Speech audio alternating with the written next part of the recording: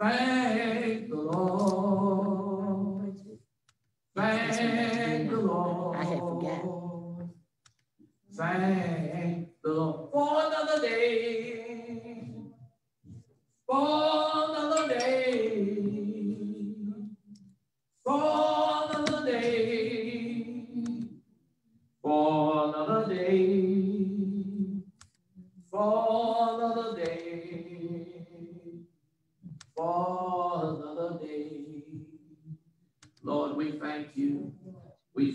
your goodness. We thank you for your blessings. We thank you for this evening. God, you've been so kind to us. God, you've been so good to us. You woke us up this morning and you started us on our way. We thank you now, God. We praise your name. We magnify you, for there is none like you. You are a great God. God, you're wonderful. God, you're worthy. You're worthy of the praises. You're worthy of the glory. We thank you for today. How you have kept each and every one of us. You allowed the children to go to school. They've come home, Lord. You allow people to go to their jobs. Lord, they'll come back to their homes. Lord, you have blessed the rest of us and all that we've been doing today, God. Some of us been on the highways. Some of us, Lord, right here in this little town. But you kept us, God, through seen and unseen dangers. We thank you, God. Thank you for your tender mercies. Thank you for your goodness. Thank you, God. Oh, for your amazing love. Your love is so amazing that you sent your only begotten Son. And then the Lord died on, on Calvary's hill for all of our sins. Oh, that is an amazing love. We thank you, God. We praise you. We magnify your name. Yes, Lord. Our souls are saying yes. Yes to your way. Yes to your will. Yes, Lord. My soul said yes. Yes, Lord. Hallelujah. Hallelujah. Oh God, we praise you. We magnify you. We glorify your name. Thank you now. Thank you for your goodness. Thank you, God. Thank you for all you've done. Thank you, Jesus. Lord, we thank you. We honor your name. We praise you. Oh, we praise you. Yes, Lord. Yes, Lord. Yes, Lord. Yes, Lord. We pray this evening, God, that you heal the sick. Touch right now, God. Oh, Jesus. Stretch forth your hand. Your hand to heal those that are sick this evening, sick from COVID 19. We pray for your deliverance. We pray for your healing.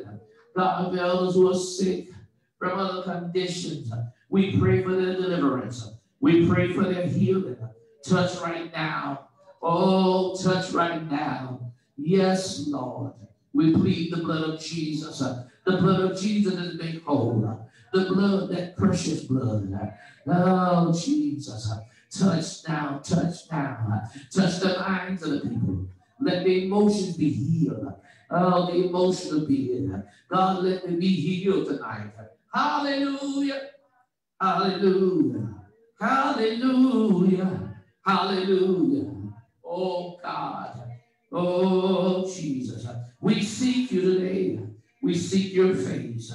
We seek your will. We seek you, Lord. We seek you tonight. Yes, Lord. Yes, Lord. Yes, Lord. Yes, Lord. Have your way, God. Come on, everybody. Him, have your way. Come on, him, have your way. Have your way, Jesus. Have your way, God. In us, Lord. In our souls, God. Move by your spirit. Move in this house, God. Move on these airways. Touch right now, God. Touch our minds, Lord. Touch, Lord. Touch the inner man. We need a renewal, God. Our spirit needs to be renewed. Oh, we need a refreshing. Yes, Lord. Let the rain fall in this house. Rain on us. Oh, God. We need reviving. Yes, we do, God. Revive us again. We need reviving. Oh, Lord. Hallelujah. Hallelujah. Hallelujah. Let there be a move, God, of your spirit. Move in this place. Move in this house, God. My God, move. Move in this house. Yes, Lord. Yes, Lord. Yes, Lord. Yes, Lord. Our soul is saying yes. Yes, you will. Oh, God. We pray our families. We pray, God, that you move in the homes, that you bless families, Lord. So much there was disruption in these homes, Lord. I pray, God, that there be peace in the homes. Oh, God, bind the enemy down. Bind Satan, bind the Lord, who's trying to destroy families. Hallelujah. Hallelujah. Hallelujah. We need you, God, in society, in this nation. Save, Lord. Save, God. Save our children. Save, Lord. Save our young people. Yes, Lord. Young men. Young ladies, God. Oh, God. I ask that you help in the black community. Yes, Lord. Too many of our boys are being killed and going to jail. Lord, turn around. Jesus. Oh, Jesus. Turn this thing around. Oh God. The enemy is attacking our children. He's attacking them, Lord. Lord, there's even a suicidal spirit that is rising among our children. Bind it down. Bind it, Lord. A spirit of depression, Lord, that has been released or released on our children. Oh God. Oh God. Help, Lord. Help, Lord. Help our children. Help these young ladies who have no hope, Lord. Who don't know where to go or what to do, God. Yes, Turn them around, God. In the name of Jesus, I pray, God, that you give us that ministry, a ministry here, Lord, to help children, to help our young people. I pray, God, that you restore the youth department of this church. Yes, Lord. Let the children return. Oh, God. Let the classes return. Oh, God. You fix it, God. You know how to do it. You know how to open the door. Fix it, God. Fix it, Lord Jesus. Oh, Jesus. Jesus, Jesus. Jesus, Jesus. We're looking to you, God. In this pandemic time, we'll look at you, God. In this rough time, God, you're able to bless. And I know you're already blessing, God, but pour out more blessings, spiritual blessings, blessing here in the church, God. Hallelujah. Add on to the family. Save and set free. Set free, God. Set free, God, from the bonds of the enemy, from the power of darkness. Break every habit. Put out every stronghold. Bind the hands sin. He's a deceiver and a liar. Bind it, Lord. All the things he's trying to do, make him take his hands off, Lord. In the name of Jesus, God, I ask you to stir God every sinner that we talk to God. Yes, Lord, that we've been ministering to, Lord, that we're witnessing to God, that we're praying about. I pray, God, that you will stir, stir the mind, stir the heart, Lord. Don't let them rest. Don't let them rest, God, in their sin. Don't let them enjoy the pleasure of sin, but help them to get in a hurry. Oh, God, trouble their minds, trouble their spirits.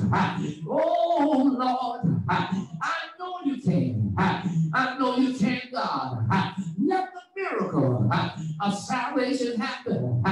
Yes, yes, Lord. Save God.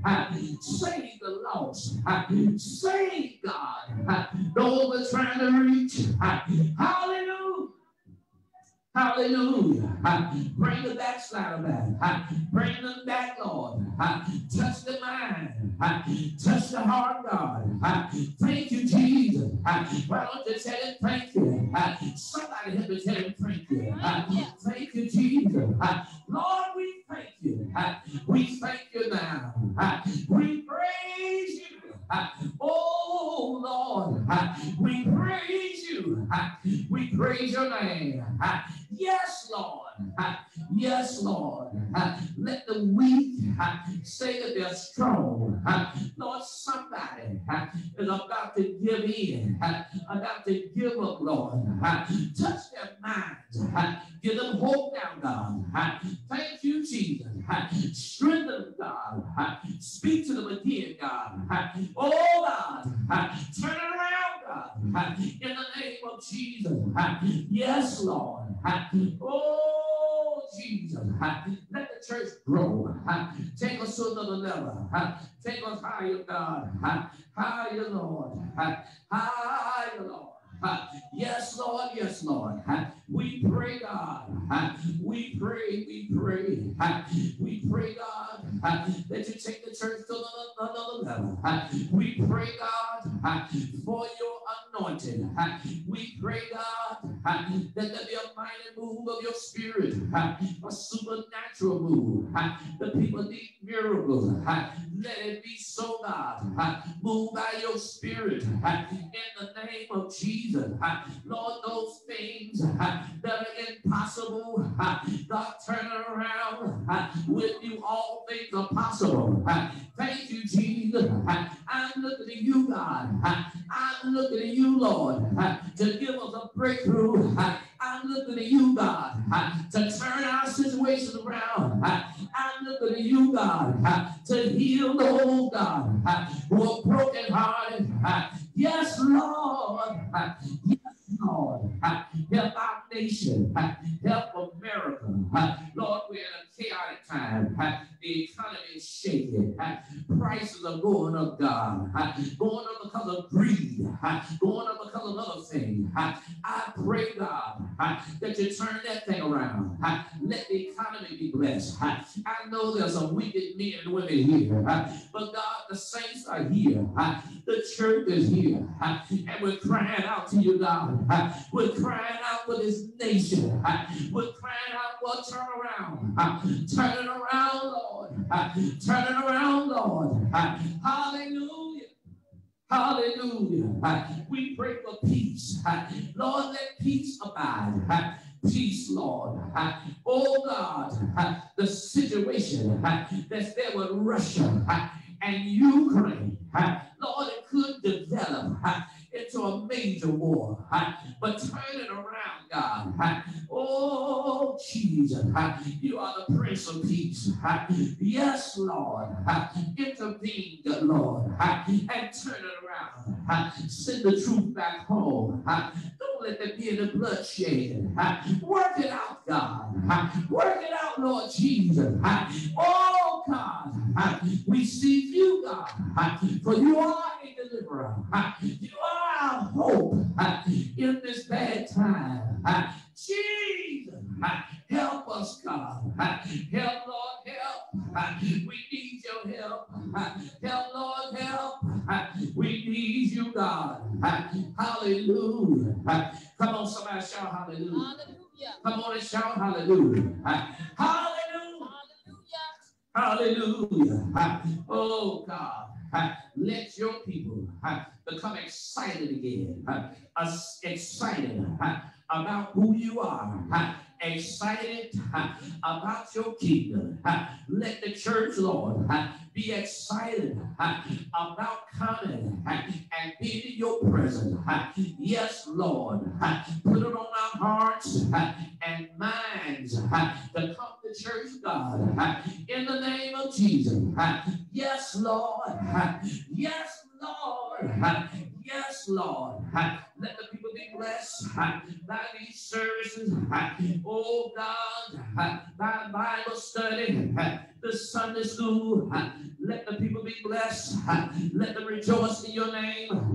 Thank you, Jesus. Thank you, Jesus. Oh God, we seek you. We seek your way. We seek your word. Thank you, Jesus. Let the word come.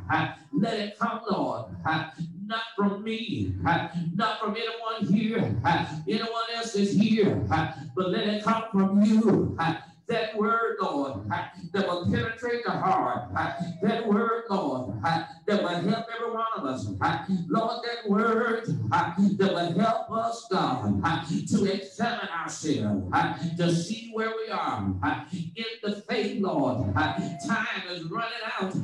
We cannot play with it. We cannot be half stepping. Oh, God, time is winding up. We've got to be ready. Every one of us, Lord, that we're ready. Help me, Lord. Help me tonight. You want to tell him, help me, Lord. Come on, everybody, lift your hands and tell him, help me, Lord. Come on, say, tell him, help me, Lord. I need your help. I need you, God. I need your help. Oh, God, oh, God. Oh, Jesus. Oh, Lord. Oh, Jesus. Oh, Lord. We praise you, God. We magnify you. We glorify you. We thank you, God. We thank you for this evening. We thank you, God, for this time of prayer, this time of refreshing. Lord, give the church a mind to pray, a spirit of prayer. Give the church, Lord, a mind to press on in the name of Jesus. Let the saints be encouraged. Lord, let them be encouraged in the name of Jesus. Some of them have had it pretty rough. Some of them have had hard times even today. But I pray you strengthen the brethren. Strengthen your people, Lord. Both male and female. Help now, God, in a time of crisis. I pray for the bereaved, God, that you will touch, oh God, touch their heart and mind. Look on Sister Levada. Help her now, Lord, in this time. Strengthen her and the family. In the name of Jesus. In the name of Jesus. Look on Taylor, God. Look on Taylor. Yes, that young God. lady in Clarksville yes, that's having a rough time in her physical body. Yes, I pray God. for her healing. I pray for her deliverance. Yes, God. God, I pray for a miracle. Yes, in God. the name of Jesus. In the name of Jesus. I'm looking for a miracle. Yes, God. I, I'm looking for a miracle. Yes, God. Oh, God. Thank you, Jesus. Thank you, Lord, I thank you. Thank you. Lord, I thank you. Lord, I praise you now. Yes. Lord, I magnify your yes, name. God. I want you to meet us, God. Yes, meet God. us in this place. Every time we come, yes, meet us, oh God. The Sunday morning services. Lord, meet us, oh God, in the prayer revival next week. Yes, yes Lord. Yes, Lord. Let there be a difference. Lord, let there be a difference because of the prayer. Yes, Lord. Yes, let, oh God, let wonderful things happen. Unusual things happen in the time of prayer, the time of fasting and consecration. My God, show yourself strong in the name of Jesus. There were times, oh God, in the Old Testament, you showed yourself to the people of Israel. You spoke to them directly, Lord.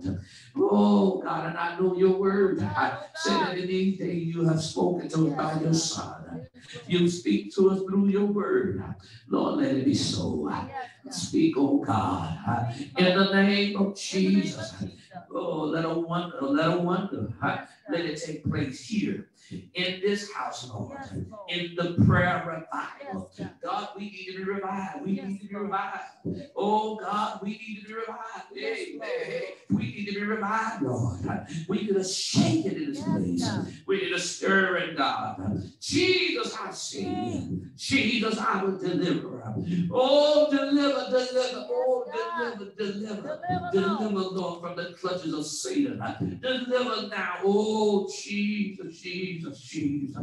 Oh, Jesus, Jesus. Bind it, bind it, bind it. Bind it now, bind it now, bind it. Oh, Jesus.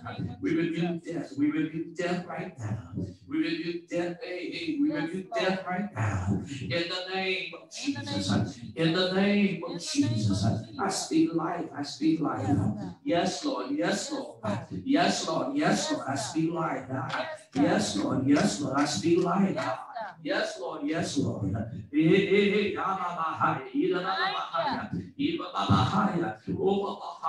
Oh God, fix it now, fix it now, fix it now, fix it now. In the name of Jesus, fix it now, Lord, fix it, Jesus. Oh, Jesus, I'm looking at you, God. I'm looking at you, God. Make a new thing here. My God, my God. Oh, Lord. Oh, Lord. Oh, Lord.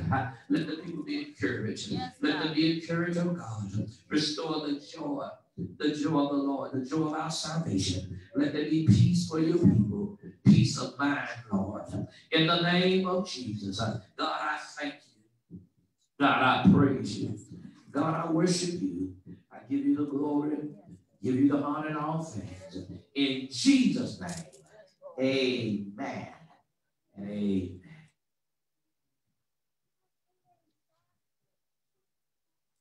Lord bless you. All right, those that are, are listening by Facebook and Zoom, give us just a few minutes. We got to reset up. So just stay with us just a few more minutes. We'll be back with you.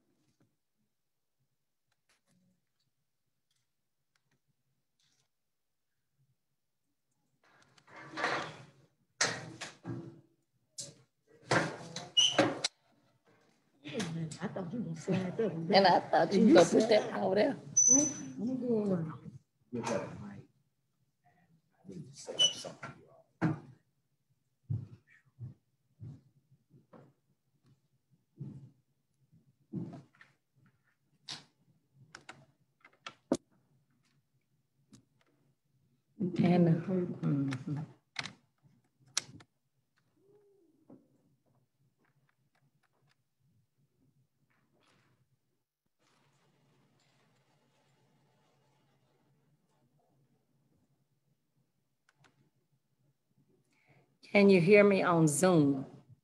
Can someone, uh, Yes, we can hear you, Sarai. thank you so much.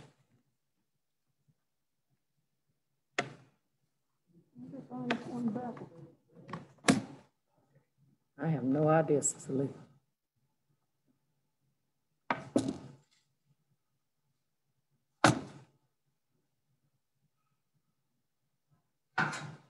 Cass, did you bring my book?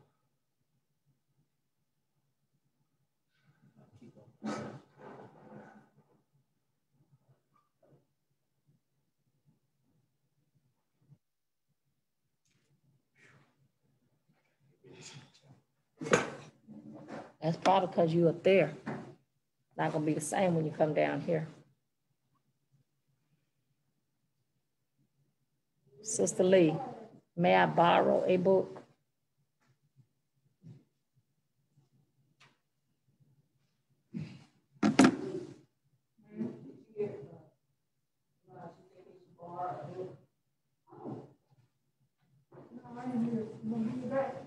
Yes, ma'am. Can you ask for it back, please?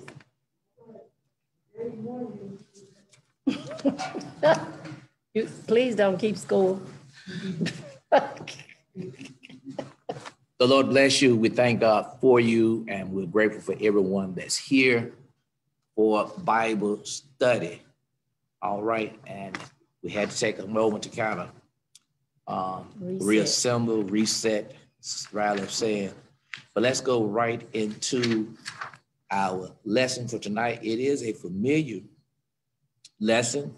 Uh, we're in session, what is that? Session 11. It's on page 100. Did he text in twelve back? Okay. Let me see that I text the wrong thing. I, I thought I said uh, session 11. I did say Yes, you 12. did. Oh, I am so sorry. Well, let's see. I, I, they tell me I, I typed the wrong thing in. It doesn't matter. I Uh, don't think it matters that much. and you all studied.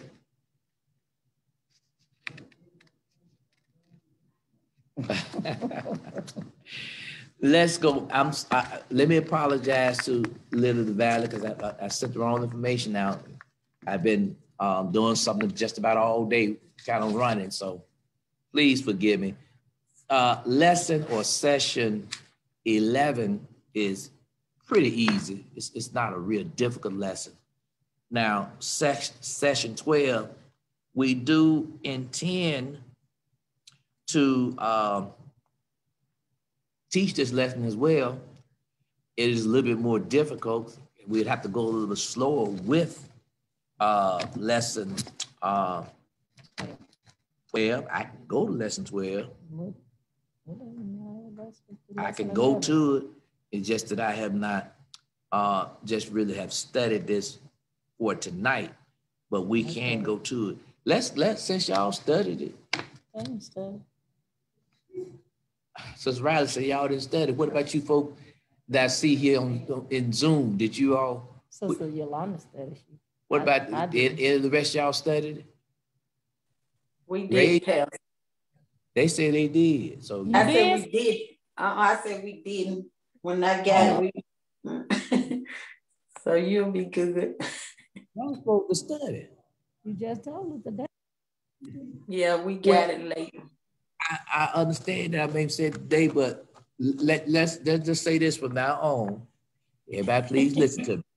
From now on, if I forget to tell you which one we studied, it's the next lesson in the book because we're getting ready to order some more of these books. I think the lessons are pretty good. The next uh, set is going to be in the New Testament. Kind of looked at them. I think they'll be pretty good. So uh, from now on, everybody, just go to the next lesson unless we give other instruction. Yes, sir, And that would kind of suffice that. All right.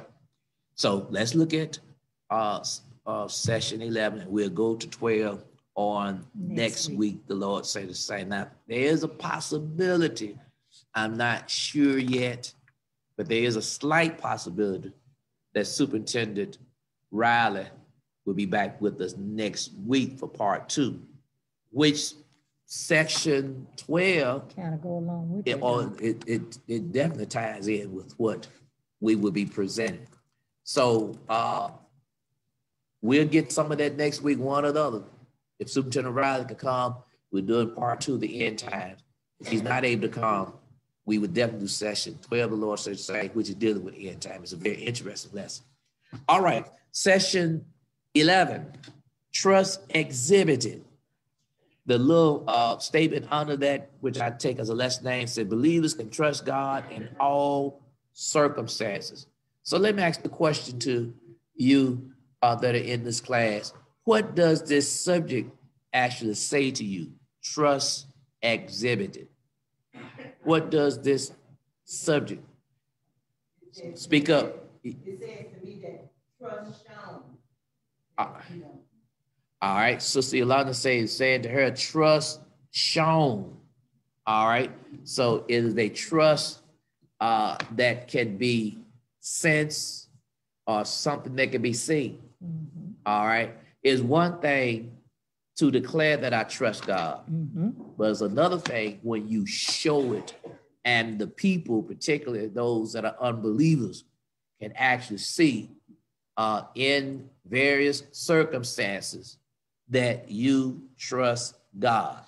All right, the, the little introduction on page 100 said one of the benefits of walking with God for many years is seeing firsthand how he can be trusted and that the Bible is right about everything. The Bible is right about money, true commitment, sex and marriage, leadership, relationships, and so much more. Long term believers who live by God's principles see them validated again and again. Let's read uh, some of the background information tonight. If you don't have a book, the lesson is coming from Daniel uh, chapter 6, verses 10 through 24. But the background that they give starts at, at verse 1. So it's good if you if you would read, just read the entire chapter, Daniel chapter 6. Uh, but let's read some of the background. Sister Yolanda, you better uh, reading, uh, especially those first two paragraphs. Uh, Daniel chapter six, verses one through twenty-eight. Babylon fell to the Medes and the Persians around five hundred thirty-nine BC. Darius as the Mede was given the jurisdiction of Babylon at the age of sixty-two. Daniel had been taken into exile by the Babylonians around 605 BC and held in captivity for 70 years. When Babylon was overtaken by the Medes and Persians, he was likely in his 80s.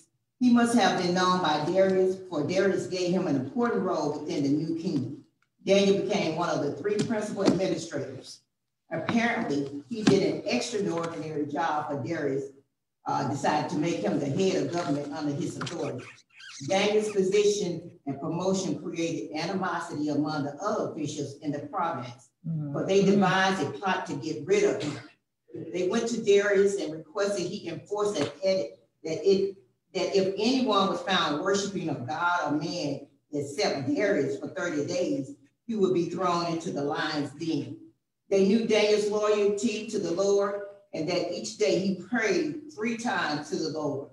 When Daniel defied the king's edict, all the officials went before Darius to inform him that Daniel had resisted the king's order. Daniel was subsequently thrown into the lion's den. The king could not sleep that night and hurried to the lion's den at dawn, crying out in the hope of hearing Daniel's voice. Mm. Daniel replied that God's angel had shut the lion's mouth. Removed, removed from the den, Daniel was found to be unharmed. The king then ordered Daniel's and their families to be thrown into the den, where they all perished. Darius sent word throughout his kingdom that people should honor Daniel's God. After his deliverance, Daniel continued serving in the Persian court. Okay, thank you. So uh, that's a really uh, summary of the lesson, but we want to dig deeper into some of the details. Now, the the empire has changed. Uh, you go back to Daniel chapter 5, uh, Nebuchadnezzar, that's who we studied a few weeks ago. King Nebuchadnezzar, of Babylon, you know, the one that went insane, uh, uh, crawled on his knees seven years, eating grass like an ox. When Nebuchadnezzar has died, his grandson, Belshazzar, uh, became became one of the co-regents. So the uh, Belshazzar, his grandson, and I think it was Nebuchadnezzar's uh, son-in-law. They reigned together. Well, anyway, Belshazzar was was in Babylon the night that the Medes and Persians defeated the Babylonians. You remember the story? Uh, here he's sitting in the palace room drinking out the gold vessels that had been brought from the temple of God back in Judah.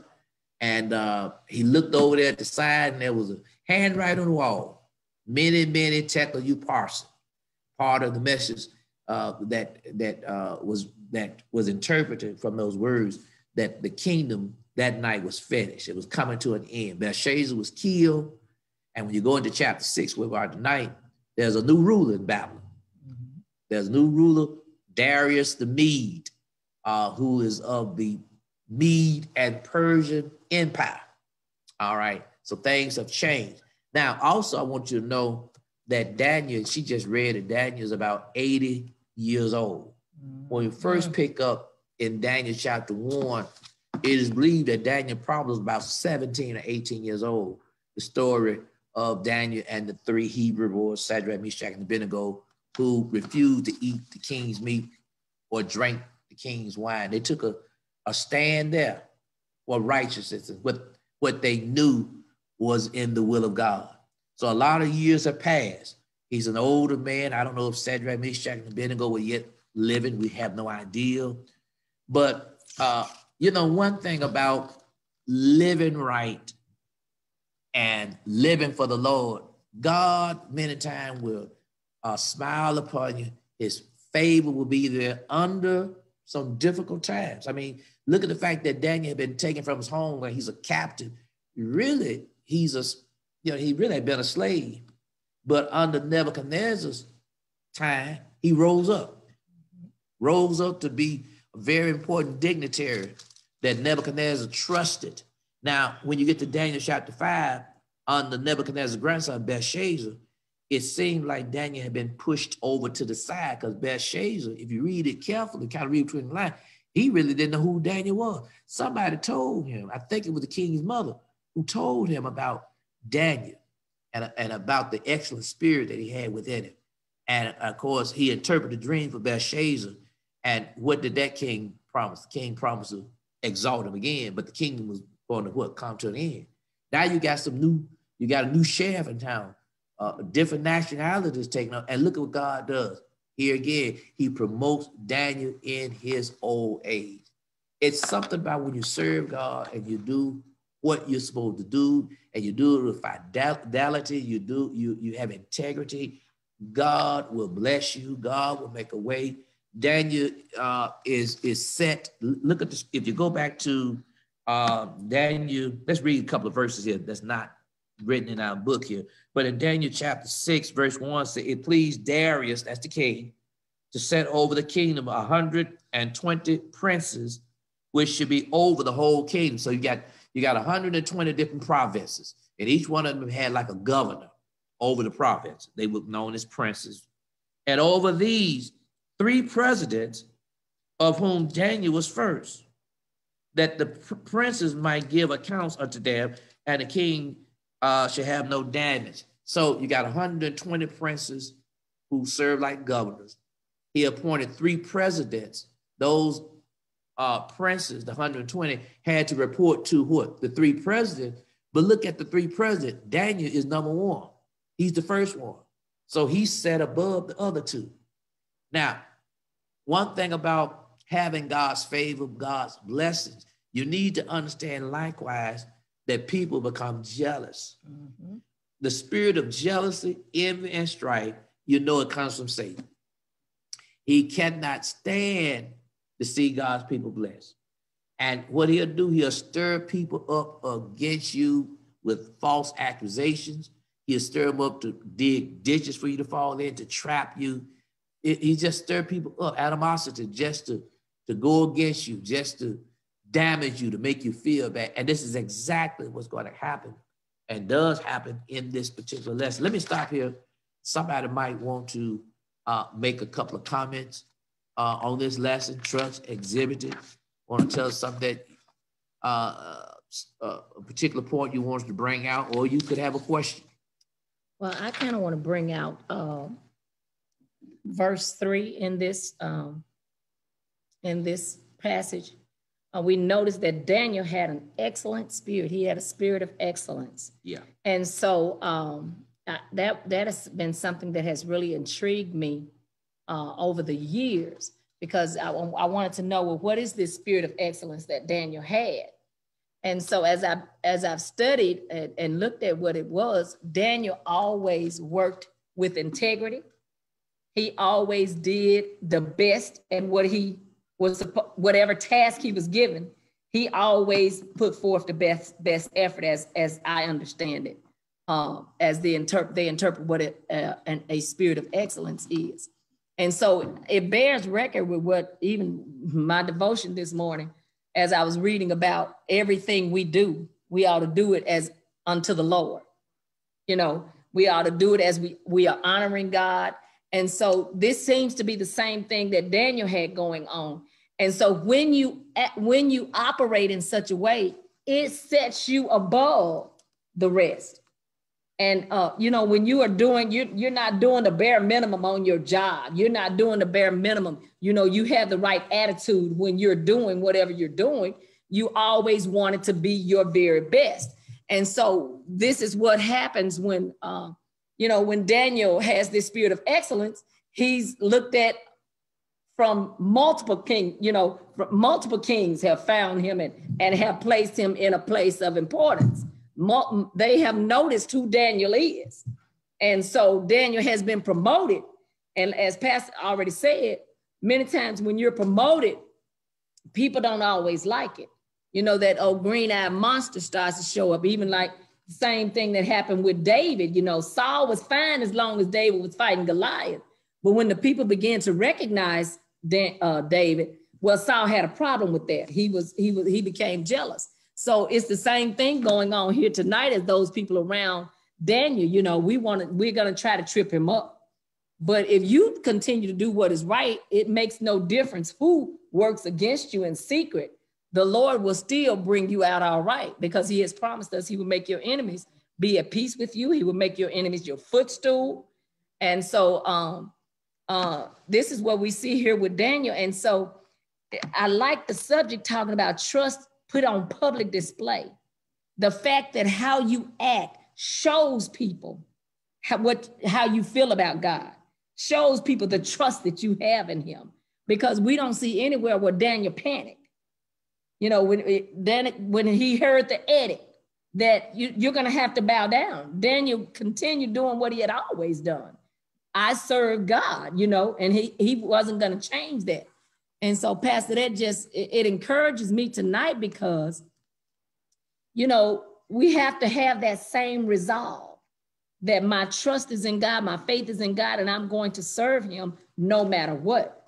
And so, as we can see, when when it, when time comes, God is always going to show up. He showed up for Daniel, and He'll show up for Yolanda. He'll show up for Mary. He'll show up for Valerie. So I thank God for that tonight. All right. Anyone else like to um, make comments? You that are on Zoom, all you got to do is unmute your mic. We'd be glad to hear from you. You that are on Facebook, we can read your comments. Oh, you got Okay.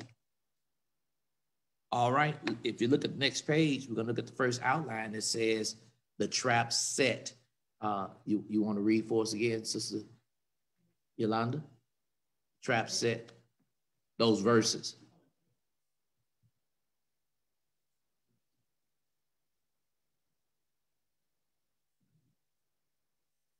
Now, when Daniel knew that the writing was signed, he went into his house, and his windows being open in his chamber toward Jerusalem. He kneeled upon his knees three times a day and prayed and gave thanks before his God, as he did aforetime. Then these men assembled and found Daniel praying and making supplication before his God. Then they came near and spake before the king concerning the king's decree. Has thou not signed a decree that every man that shall ask a petition of any god or man within 30 days, save of thee, O king, shall be cast into the den of lions? The king answered and said, The thing is true, according to the law of the Medes and Persians, which alter not. Then answered they and said before the king, that Daniel, which is of the children of the captivity of, of Judah, regarded not thee, O king, nor the decree that thou hast signed, but making his petition three times a day. Then the king, when he heard these words, was sorely pleased with himself and set his heart on Daniel to deliver him. And he labored till the going down of the sun to deliver him. All right, thank you.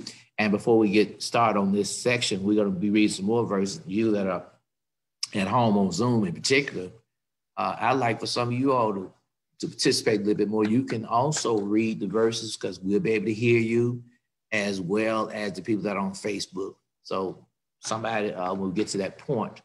Um, think about reading for us, if you will. Now, we she just read verse 10 through 14, but there's a verse back uh, earlier that I want to point out, that's verse 4 because when these individuals, all these governmental officials, those other two uh, presidents and some of those princes that were over the 120 provinces, the verse four said they sought to find uh, to, to, to find an occasion or sought yeah to sought to find an occasion against Daniel concerning the kingdom. In other words, they look for a fault in Daniel. Yes. You know, he must be doing something. You know, like uh, presidential politics, them guys run for president, what do they do? The opposing group, They they, call it opposition research. yeah, they, if you didn't know this, I noticed from teaching social studies some years ago, the Democrats got a group that sometimes work 25 hours a day, so to speak, different teams coming, and they look for every little detail on the opposing. The Republicans do the same thing. And so sometimes what you think is what we may call dirt, all that stuff comes out, you know, to try to damage the reputation of their opposer and such. So that's that's how politics work. And, and this is exactly what's going on here. They were looking for something on Daniel, particularly did he do something that was a little uh, illegal Mhm. in kingdom? They couldn't find anything. He was clean. And so they said, well, we know one thing we can get him on because he was a man of prayer. Yes. He see he was Daniel was the type person that he prayed and everybody knew he prayed because he prayed out loud. I think about some of the uh, the saints in the Church of God in Christ modern times. Uh, we were in uh, Memphis, Tennessee, some years ago. Memphis is the headquarters for the Church of God in Christ, so we had the convocation there. Uh, in Memphis, practically all the hotels in Memphis are booked. COGIC people, Church of God in Christ people, all over the city, you know, because they come from all over the world, actually. My mom was in one of those hotels. She said about, about five o'clock in the morning. Say, one of the preachers, either he, he I think he might have been in the room above, he was praying out loud.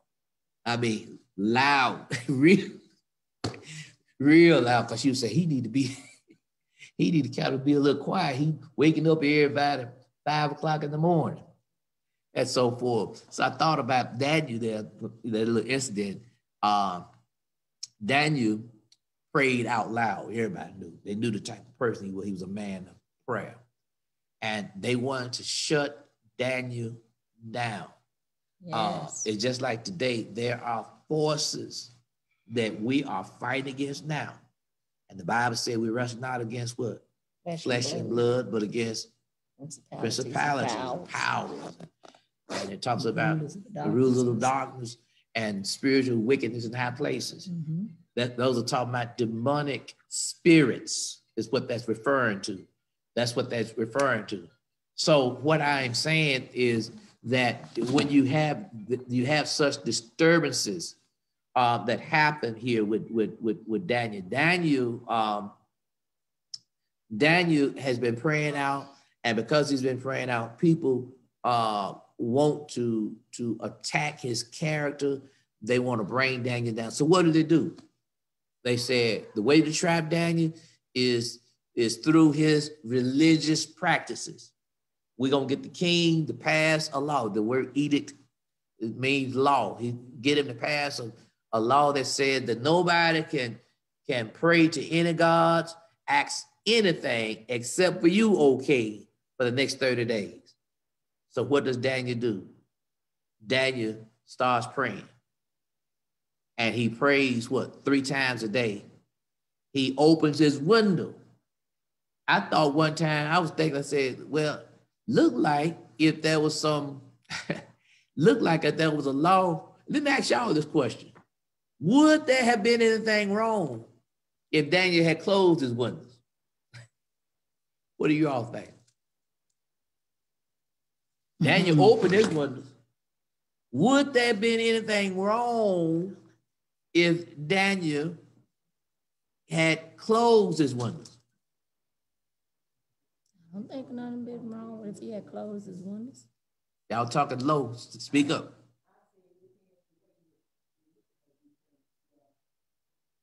I, I don't know because when he closes, when he's in the privacy of his own home, whereas he praying, uh, to the Lord, we, although we say it was like a decree or something, but they tell him not to, they tell him not to, uh, pray to any other God or any other man. So I don't think he was wrong if he had a He would not have been wrong, but I do believe that the Spirit of the Lord put that within him as a trial of his faith and then as an example for us today. Because now, you know, I talked about this some week, weeks ago. The way things are going in our society and, and this call for us to be politically correct, the idea behind that when it comes to the church, they're saying, well, if you want to believe in, in Jesus and all that Jesus stuff, just keep it to yourself. Mm-hmm. We don't, that, that's the idea. Now, they hadn't said it publicly in these words, and some of them have. There's no law as such. We still supposed to have freedom of religion, although that's being attacked, look like every day. But the ideal is we don't want you to, to do these things publicly. We don't want you to do this publicly. And, and so, uh, and I can give you examples. You have situations where now, even in the uh, some of the schools or some of the places of employment, they do not want you to read your Bible even to yourself. What? Yes, ma'am. Did y'all hear what I said? They don't want you to read like you you on break and you just read in your Bible. Mm-hmm. They don't want you to do that. One little uh, little elementary child got in some trouble at lunchtime one day because he said grace over his food. They told me he couldn't do that. Couldn't do that. In a public school? In a public school. Yes. Mm. And so you have those type of things that are happening now. I think there are times when we have to take publicly take a stand, you know, and not let these forces just cause us to be silent because you got to understand that the in terms of soul winning, witnessing, and preaching the gospel, it has to go forth and it has to go forth publicly if souls are going to be saved. But but yes, the, the times are changing. I keep reminding you all of this with, with these lessons here. I keep reminding you because let me give you one other example, then we're going to move on. But let me give you another example. Uh, in the city of Atlanta, Atlanta, Georgia, this happened maybe about 10 years ago. Uh, they had a black fire chief. And the, the city officials went back into his past. I think he had written a book or some kind of publication in which he wrote about his views when it came to marriage. He said that marriage was honorable in the eyes of God and that marriage should be between a man and a woman, that same sex marriage was not right. It was not right in the eyes of God. Now, he he stated that on his own private time, not on his job, not on the job, and and and actually the publication came out before he was hired. Did you not know they investigated him? And at first of all, they suspended him, and then when they got through investigating him, they fired him. That's where society is going.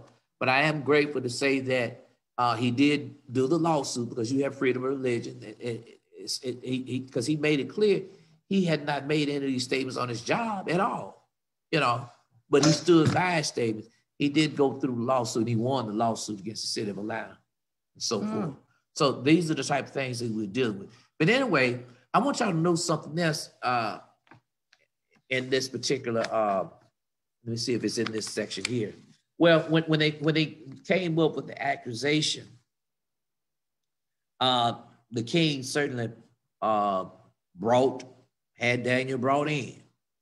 He wants to know from from Daniel, is it true? Because verse 14 said, Then the king, when he heard these words, was sore displeased with himself and set his heart on Daniel. Well, that, I'm, I'm, kind of jumping ahead. That was something that's that I wanted to uh, go, but maybe that's in the next section let me just state this. Once they brought Daniel in, and Daniel appears to be a friend of the king, Daniel had integrity. Daniel was his best official. King realized what they have done.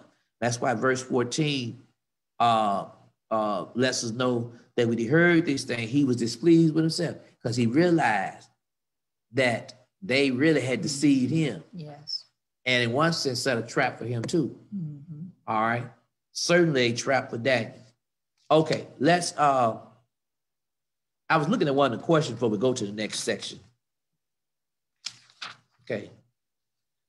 Uh question that's on page 103 says, where is the line for believers when it comes to ignoring or knowingly disobeying the laws that restrict religious freedom? Where is the line? Where is the line for believers when it comes to ignoring or knowingly disobeying the laws that restrict religious freedom? What do you all think? Mm-hmm. Tough question. Well, go go to the bike to sound so they can hear you too on, on Facebook if you don't mind. Right yeah, that's the one she's been going to.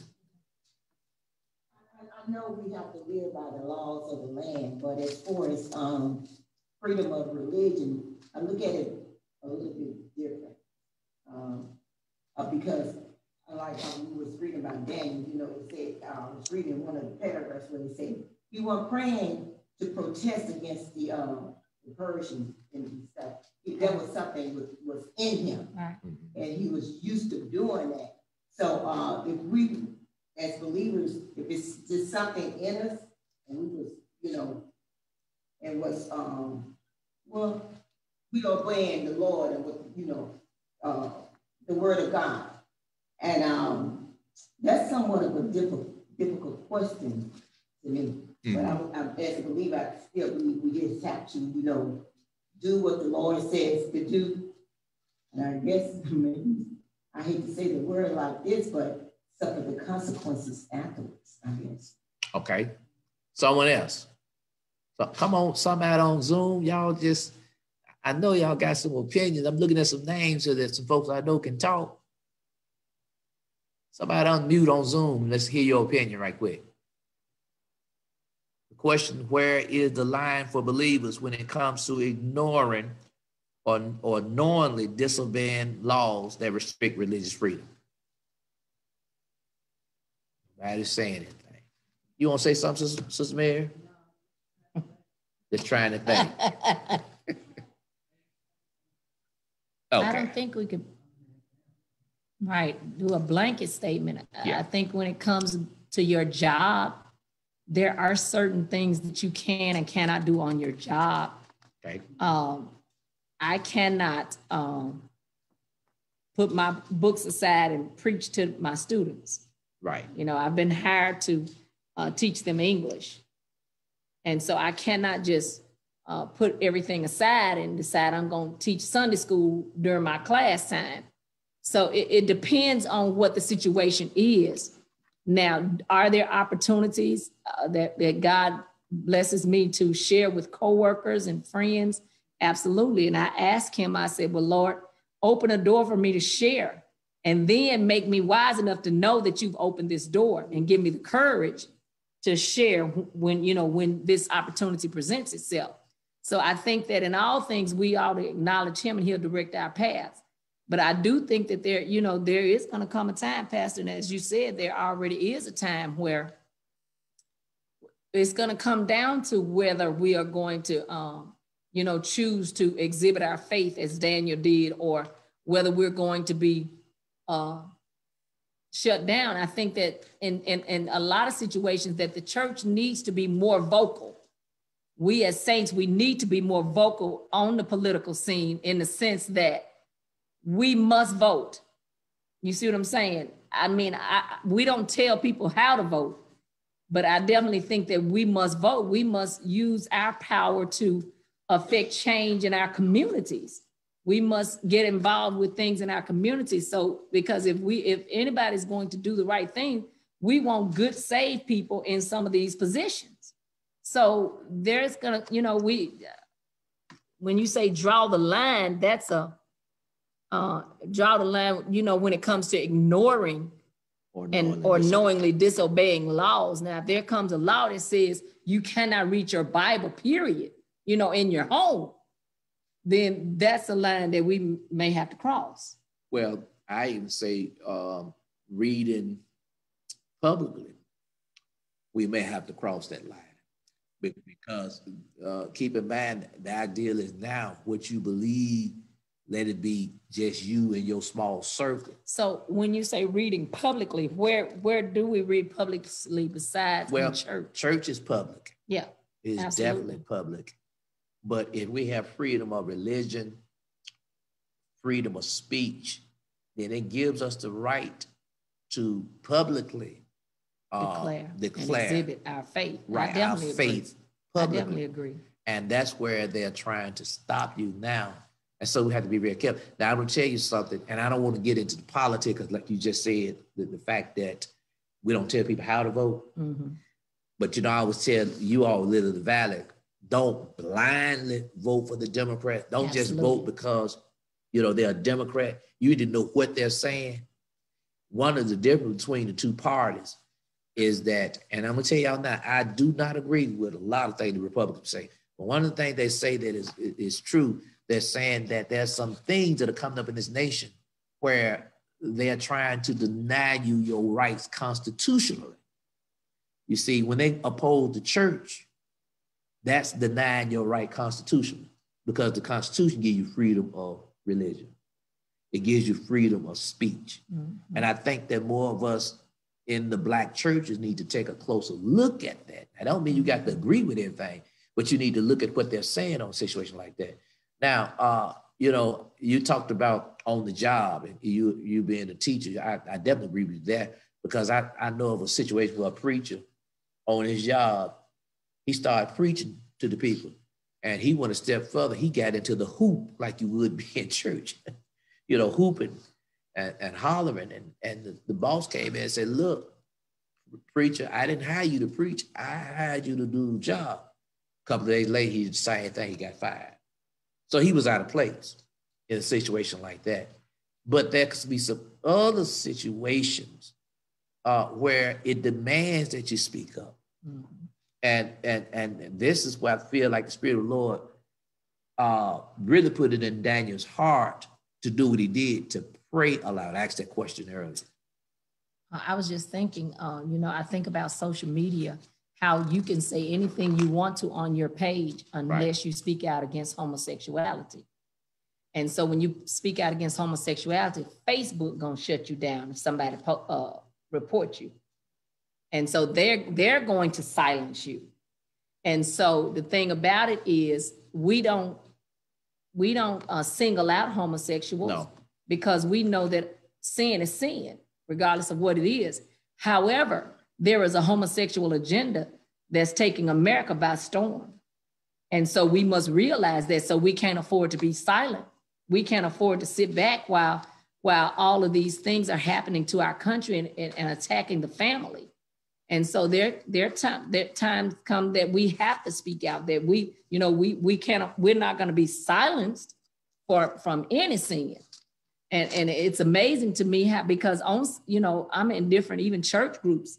And you know, and if you when you start speaking out against certain things, then of course they want to say you're judging, you're doing this. So there is a, a movement to silence the church. There's a movement to silence Christians because they don't want, you know, they don't, you know, they don't want us, they call us Bible thumpers. They don't want us to t- talk about what the Bible says.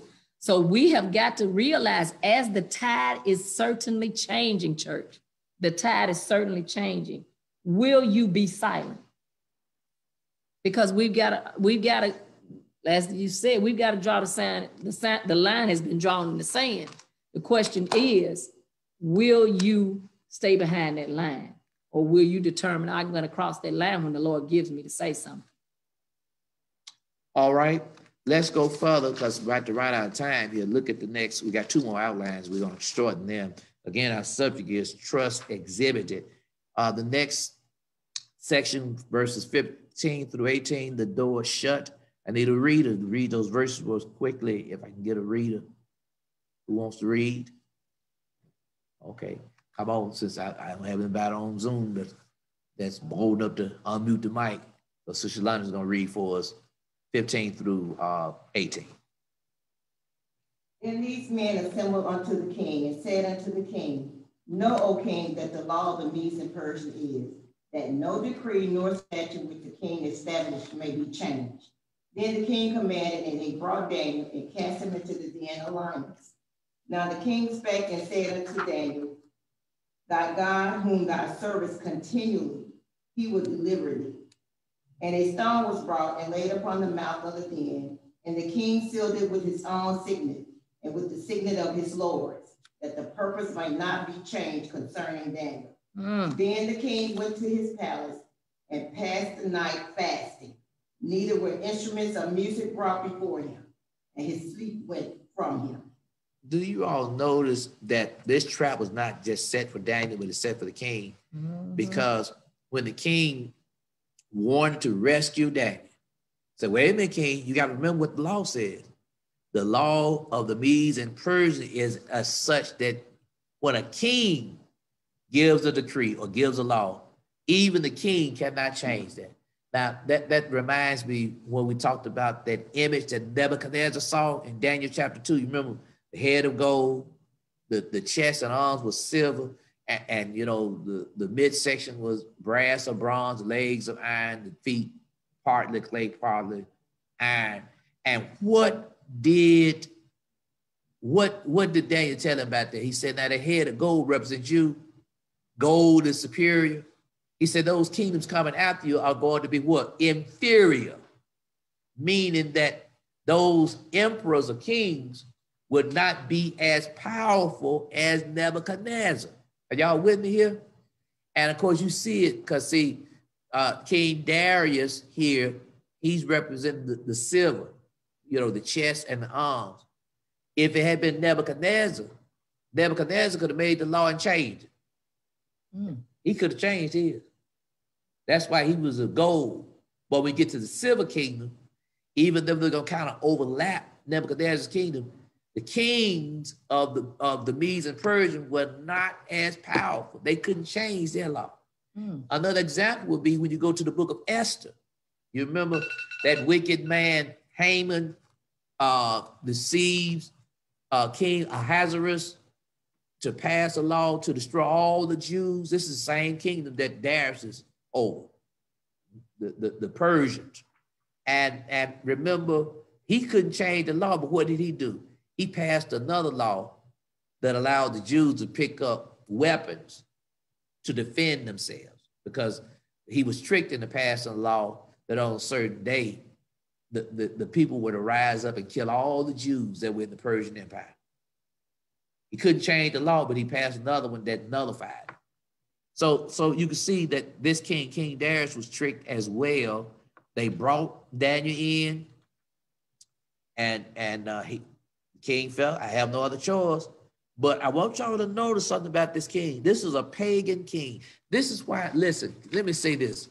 This is why it is so important that we, as the people of God, let the world know what kind of a God we serve. Yes. Keep on testifying. Keep witnessing the people to let them know that we serve a mighty God, that God can do anything. Apparently, Darius had been in some conversations with, with Daniel. Why? When he got ready to throw or have them to throw Daniel into the lions, then look at this verse. So now the king spake and said unto Daniel, Thy God, whom thou servest continually, he will deliver thee. That's what the king said, a pagan king said. Your God that you've been yes, serving, yes. he is going to deliver you. King even giving Daniel some encouraging words. Anybody want to say anything? All right, let's go to the last section because time is really out, but the tables turn. And those verses 19 through 24. Then the king arose very early in the morning and went in haste into the den of lions. And when he came to the den, he cried with a lamentable voice unto Daniel. And the king spake and said to Daniel, O Daniel, servant of the living God, is thy God, whom thou servest continually, able to deliver thee from the lions? Then said Daniel unto the king, O king, live forever. My God hath sent his angel and hath shut the lion's mouth, that they have not hurt me. For as much as before him innocency was found in me, And also before thee, O king, have I done no hurt. Then was the king exceeding glad for him and commanded that they should take Daniel up out of the lion's den. So Daniel was taken up out of the den, and no manner of hurt was found upon him because he believed in his God. And the king commanded, and they brought those men which had accused Daniel, and they cast them into the den of lions, them, their children, and their wives. And the lions had the mastery of them and break all their bones in pieces or ever they came at the bottom of the den. So mm-hmm. after Daniel had spent all night in the lion's den, the king who could not sleep all night long, he's anxious to get there to see what has become of Daniel. And he gets there, he, he cries out, Oh, Daniel. Daniel answers back. Daniel lets him know that God sent his angel to shut the lion's mouth, to shut their mouth mm. so they mm. could not do any harm to him. God delivered Daniel. Yes. And to show you that these lions would have gotten him if it had not been for the miracle, because that was a supernatural move. The king was so angry with those folk who had tricked him in the first place, had every one of them thrown into the lion's den. The question may be, why did he have their children and their wives? Anybody want to speculate? Because it will be speculation because we don't know. Theologians give some, you know, what they say may have been the case. It may have been the king say, well, this was really uh, on their part, of really a rebellion because they were, they were deceitful. So maybe he thought, hey, family's probably in on this. Let me get rid of them too. Or one theologian, I think it's written in our lesson, that uh, perhaps the king wanted to make an example. You know how sometimes uh, you have to punish children as school teachers. When I was teaching school, got some folk cutting up. Well, if I get certain folks in class and make an example out of them, it, it's, it settles down. Am I right about this, Sister Riley? Mm-hmm. Especially back in the day where I where I had that belt and that board. And uh, Sister Amy, I ain't have to whip you, did her? See, she, yeah, yeah, that's one of my former students. You, you didn't know that. She said, she said, no, sir, she was quiet.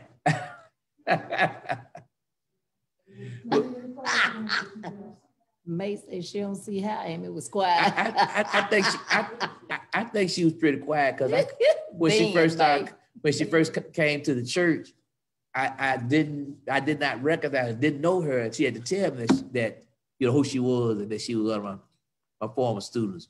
But sometimes you do that and things settle down. So it could be that the king did what? That the king did this to make some examples out. But the biggest thing is the, the, the lessons that trust exhibited. Daniel faith was shown. He believed God. He kept praying. And what happened? God delivers him. God brings him out. And the tables were turned. I think right here in America, I, you know, and I think I mentioned this before, we get ready to close in a moment. I view the church as a sleeping giant. I really do. A sleeping giant. Because if if we testify about that we have the power of the Holy Ghost and that God's power is greater than, than what the world can be against us, we ought to tap into that resource and use that power. I think if the church came more consecrated and we really cried out to God, we really prayed, I think that the Spirit of God will enable us to stand and to change some things that are going on in this society. We cannot afford a class. We cannot afford not to preach the gospel. We cannot afford not to speak out on abortions. I got to preach against that a little bit more, you all, because so many people don't know that that's a sin, that is wrong, that is the killing of some innocent baby. We cannot afford to let some other things that are coming in. So stuff, listen, every one of you parents need to know what's going on with your children at school. Stuff is creeping in. Now, it's not quite as bad in Mississippi yet, but it's in the pipeline. Some of the stuff that they're doing in some of the northern states where they're teaching uh, about sex and different forms of it that that we call perversion. And and uh, just just do the research. You'll find out where some parents have opposed and said, "I don't want my child to be taught that. Uh, I, I, you know, I don't want you teaching them that. I'm gonna I'm gonna take them out of that class when you're teaching that." The schools have turn around and, and use the court, got the court involved. The court say you can't remove your child. Your child a part of the school. They're gonna take this course. They're gonna hear this. And so that's the kind of stuff that we have going on right now. But I'm going to read this last paragraph, and then if we got any more comments we hear, we're going to close out. The last paragraph of this lesson says the account of Daniel in the lion's den reminds us that we can trust God in all circumstances. Others may try to limit our worship or discourage us from taking our faith too seriously. In some places today, believers face persecution and death for their faith. And that's happening, you all. People are being killed in Africa, in Asia, and other places. Nevertheless, we can trust God. We, we, nevertheless, we can trust that, that God knows our situation and will act in our situation to bring honor to himself as we remain faithful to him. Any other comments, questions? Okay. I think this is a good lesson. It's a familiar story, but sometimes we need to go to some of these familiar stories and examine them uh, thoroughly. We thank God for you. We want to receive an offering, or you can give your offering on Sunday if you would like to, but I want you to include a Bible study offering. If you've been blessed by this ministry and you would like to share, um, then do so. Uh, that, that's a blessing to the ministry that the gospel goes for. Uh, let me just say this that uh, we plan to be here Sunday. The Lord say the same. 9 30, 9 o'clock, brother, 9 o'clock Sunday school, 10 30 worship. You're doing youth Bible study tomorrow? Yes. Youth Bible study. Got youth, good lesson, good lesson. Youth Bible study tomorrow. She didn't get a chance to do it yesterday, but tomorrow at 5:30, we want all of our young people, as well as adults who normally uh, listen virtually, meet Sister Riley for the youth Bible study prayer, and then youth Bible study. Sunday, Sunday school, our worship. Then on Sunday evening, Sunday, Monday, and Tuesday, 5:30, we're gonna have the prayer revival each night.